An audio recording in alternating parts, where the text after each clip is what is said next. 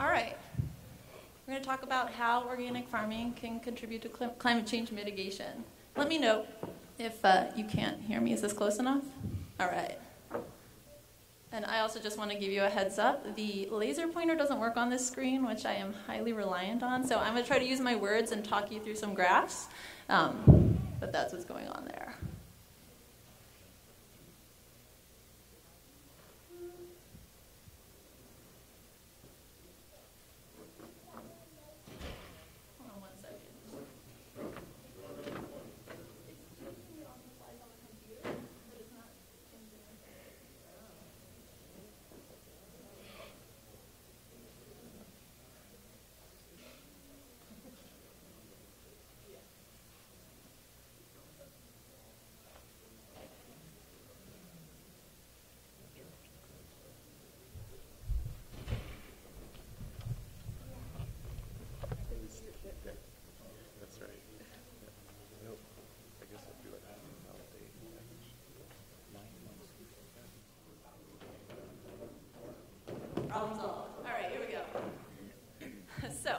Today um, I'm going to talk to you one, about uh, climate change. And when we think about climate change, why do we need to consider agriculture? So typically somebody says global warming, and we think about cars, we think about airplanes, we think about smokestacks and industry.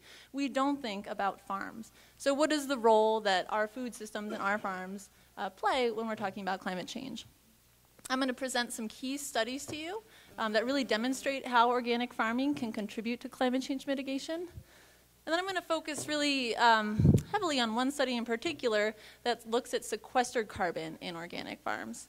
And then I'm going to close by talking to you a little bit about how these same practices that can contribute to climate change mitigation can also increase agricultural resiliency when we're talking about adaptation to some of the challenges that we're expected to face due to climate change. Okay, so 40% of the Earth's ice-free surface is used for agricultural production, and in Canada, 167 million acres are devoted to agriculture. And this map really allows us to visualize the extent of that coverage.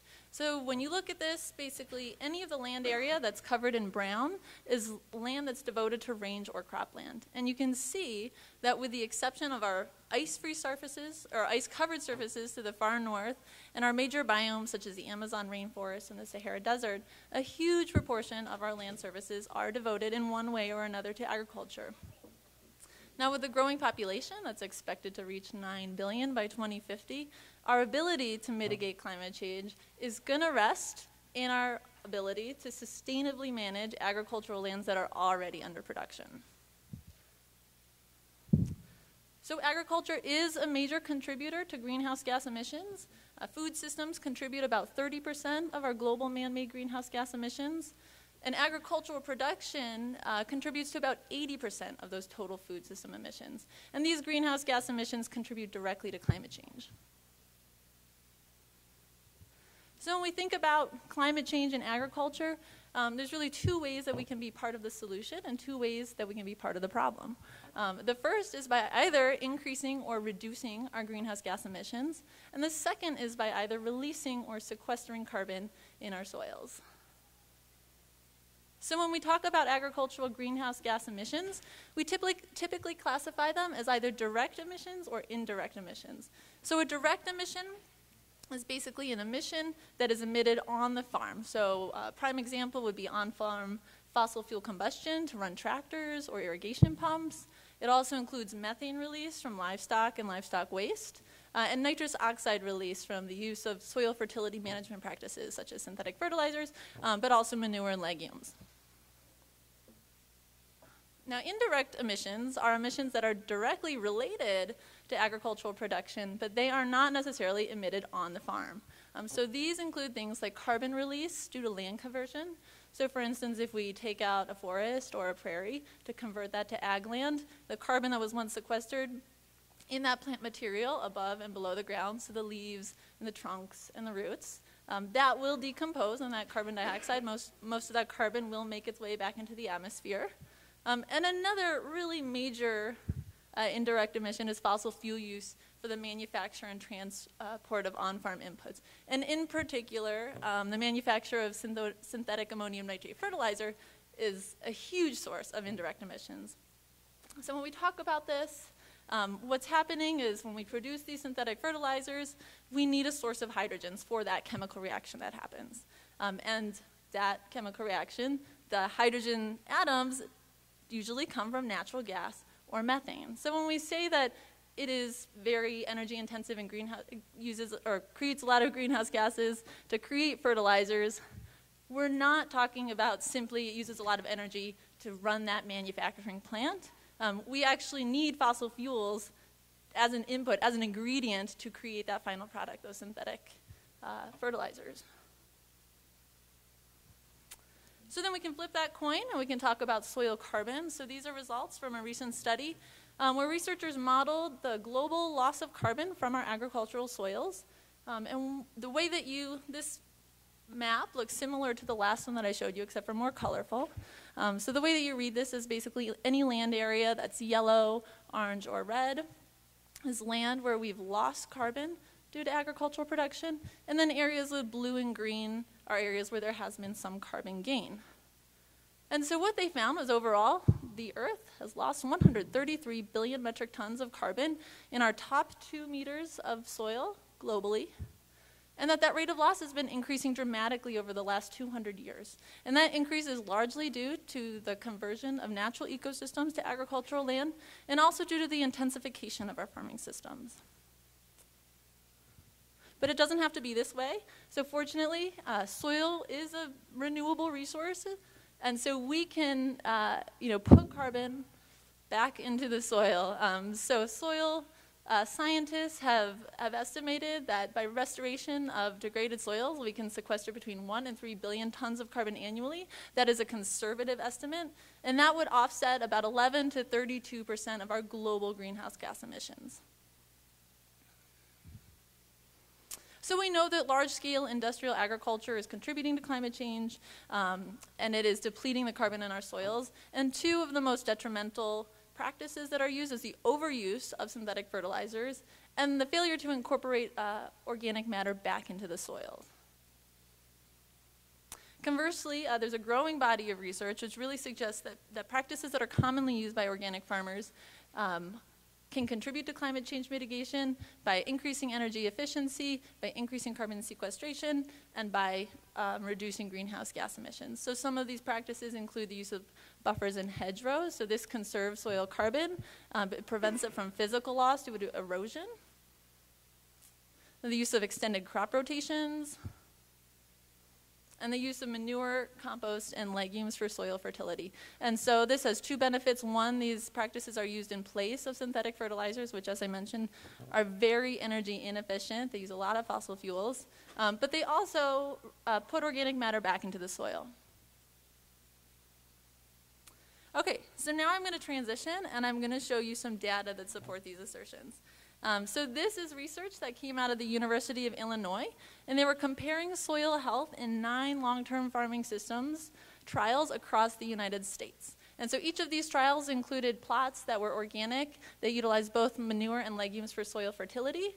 Um, another one was organic and utilized only legumes. And then the third was conventional. And all of these plots utilized tillage. So what they found was when they compared the organic uh, manure and legume to the organic legume, there was no statistical difference in the amount of soil organic carbon uh, in those plots. But when they compared the organic plots to the conventional plots, they found that there was a 14% increase in the soil organic carbon in the organic plots as compared to the conventional plots. So that, you know, a lot of people are going to say, yeah, well, conventional farmers are utilizing no-till a lot, and organic farmers are really doing harm to the soil by utilizing tillage. So let's take a look at a study that compares organic till versus conventional no-till. Um, so this is research out of the United States Department of Agriculture's Agricultural Research Service. So this is government research. Um, this is a long-term uh, study that took place. It started in 1996. It's still ongoing. And so what they did that a lot of studies don't normally do is they looked at the organic carbon to a depth of one meter. So most studies look at just at very shallow depths. And so if this is where the pointer would really be awesome. If we, um, if we look at that first graph, can everybody see which line is the organic line and which line is the conventional line? Okay, and so the y-axis, which is that vertical axis, that represents soil depth. So the top is zero, so you can think of that as the ground going down to one meter. And then the x-axis, which is at the top, which is that horizontal, that's the amount of soil organic carbon. So it increases as you move right. So you can see that in about, it's the first about eight centimeters, conventional no-till plots do have higher levels of soil organic carbon. But when we look from about eight centimeters down to 40 centimeters, all of a sudden the organic plots have more soil organic carbon. And then from about 40 centimeters down to a meter, there's no statistical difference. And so, if we go ahead and sum up all those measurements um, in that soil profile, what we see is what I'm showing you in the second graph there, which is that our organic tillage plots still have higher levels of soil organic carbon than those conventional no-till plots. And so they found um, that this was mostly the case because, again, in, in no-till, your plant residues are being deposited right on the surface, whereas in tillage, you're incorporating them deeper into the soil where they're more resilient to degradation. And so, you know, I'm showing you this. I'm not saying that organic farmers shouldn't be trying uh, to, to till with less frequency. Um, we don't need to till as deep. You know, conservation tillage is good. It's something that we should be working towards. But um, even with tillage, organic is still outperforming compared to a lot of conventional. Okay, so this study uh, was looking at the environmental impact of a loaf of bread.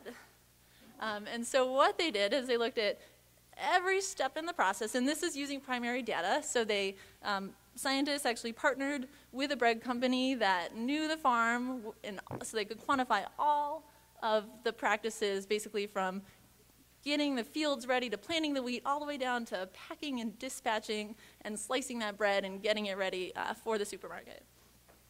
And so what they found was that, so I'm going to be focusing on the second bar to the right. Um, so that's global warming potential. And what they found was that over half of the environmental impact of bread, when we talk about global warming potential, um, was due to on-farm practices.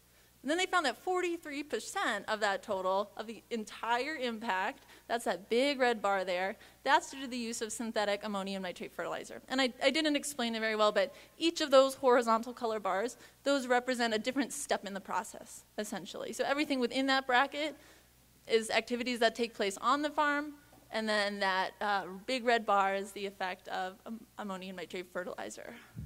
And so this, of course, has nothing to do with organic, uh, because organic farmers don't use synthetic fertilizer, um, but that's one less environmental impact that we don't have. And by we, I mean you.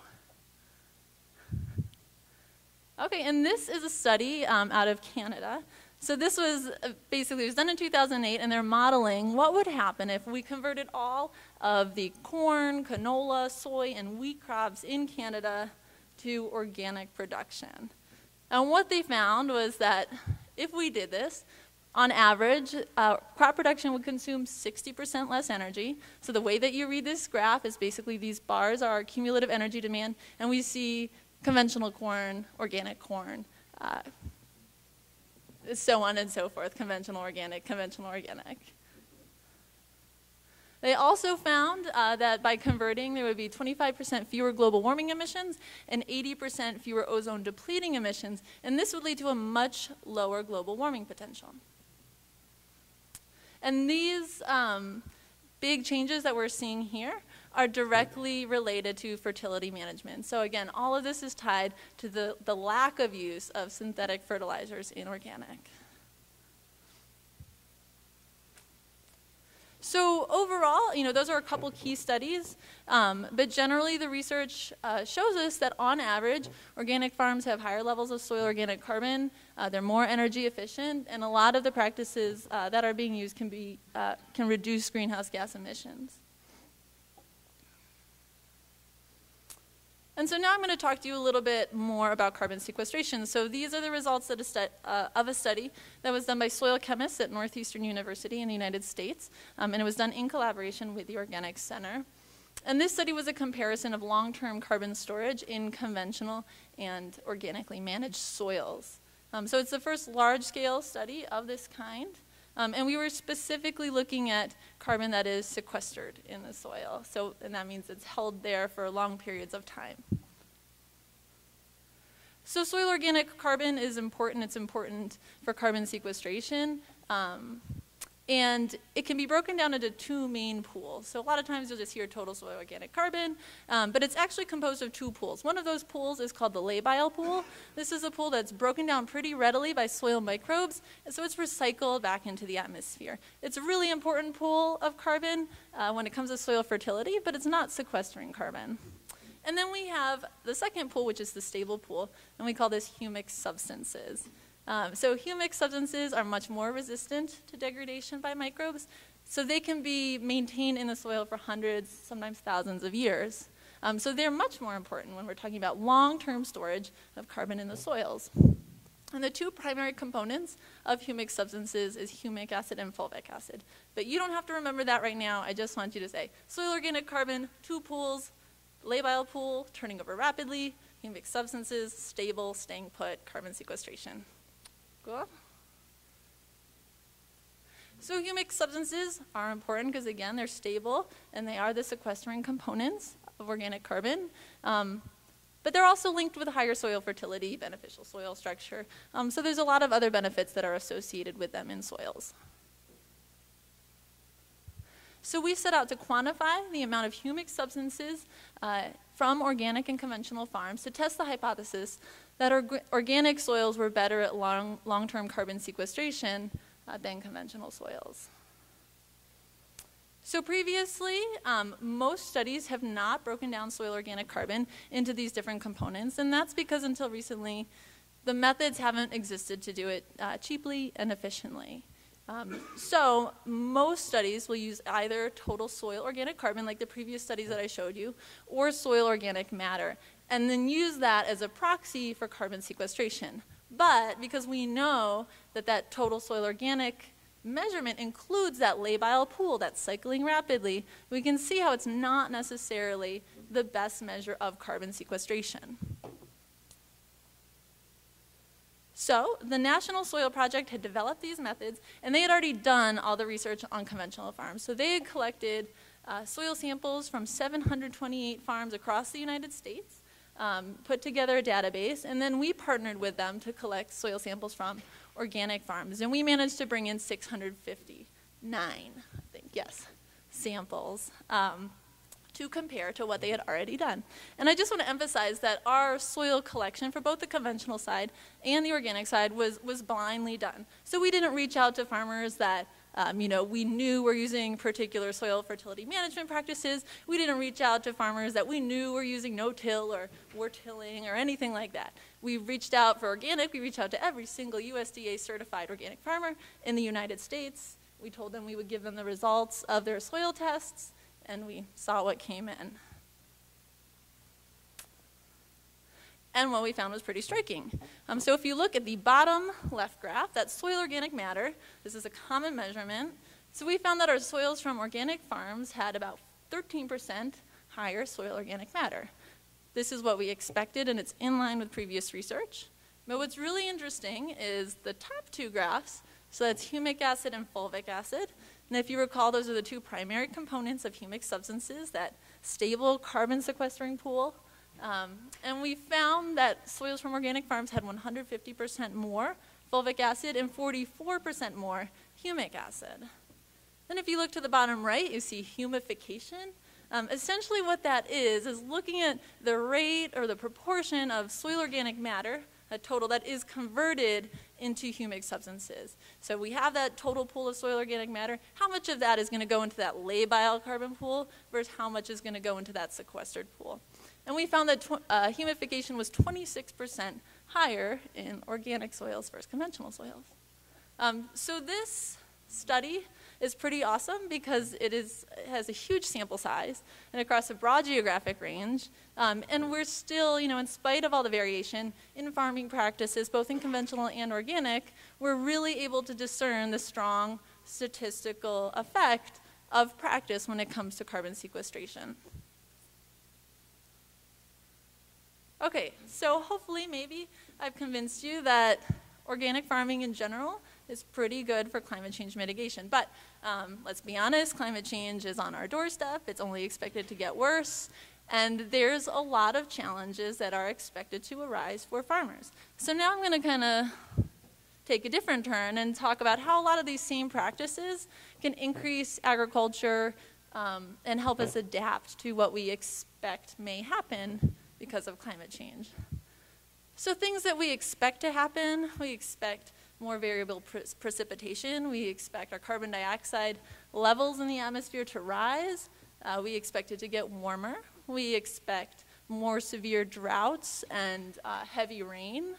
And all of these are going to have effects on agricultural productivity um, in a number of ways. So higher CO2 and warmer weather, a lot of people might say, yeah, that sounds awesome. Our crops are going to love it.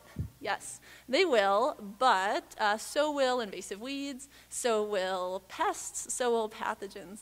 Um, so studies have shown us that with warming temperatures and increasing CO2, um, the establishment and persistence of weeds is likely to become a bigger challenge, and pests and pathogens ranges are likely to expand. Um, so this is something that all farmers are going to have to deal with.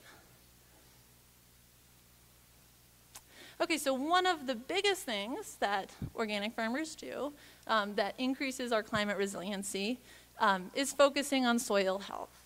And so when we talk about soil health, we're talking about nutrients, we're talking about the microbial community, and we're talking about soil organic matter, which is kind of the base of all that. And there's a lot of benefits uh, to having soil organic matter in your soils. Um, so soils that are higher in soil organic matter have reduced erosion. Uh, it protects those soils against compaction. It improves uh, aeration, water filtration, and water holding capacity. And all of these characteristics are going to be really important um, when we're talking about drought or flooding. And then, of course, it's a reserve for essential nutrients, and it supports that microbial community because healthy soil is, is going to be important anytime. So these results are from the Rodale long-term uh, field trial system. Um, and so what they're doing here is they're comparing plots that are under conventional production, um, organic production using legumes, and organic production using manure. And so what I'm showing you here are basically yields for maize um, during drought years. And so there's uh, six drought years here. Let's look at the first five where like the bars are pretty tall, they're looking normal. If we look at those drought years, we can see that the yields, the corn yields in the, the organic plots uh, exceed the yields in the conventional plots in four out of those five drought years. Um, and that's attributed to higher levels of soil organic matter and better soil health.